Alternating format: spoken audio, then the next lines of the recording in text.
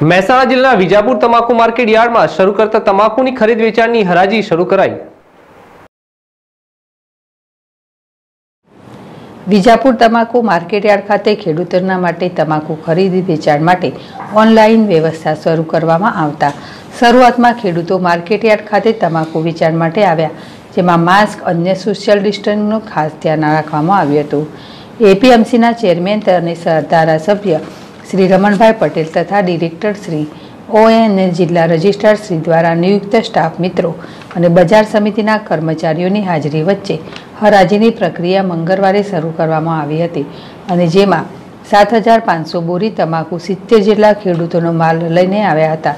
જેમાં ખેતીવાડી ઉત્પન્ન બજાર સમિતિ દ્વારા ગૂગલ ડ્રાઈવના ઉપયોગથી તમાકુ યાર્ડમાં રજીસ્ટ્રેશન માટે ઓનલાઈન વ્યવસ્થા ઊભી કરવામાં આવી છે.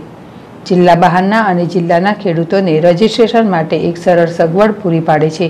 તેમજ અન્ય બજાર સમિતિઓ પણ આ પ્રક્રિયાને અનુસરે તો રજીસ્ટ્રેશનની પ્રક્રિયા સફળ બને તેમ છે. સૈયદજી બુખારી, જેડેશ વિજાપુર.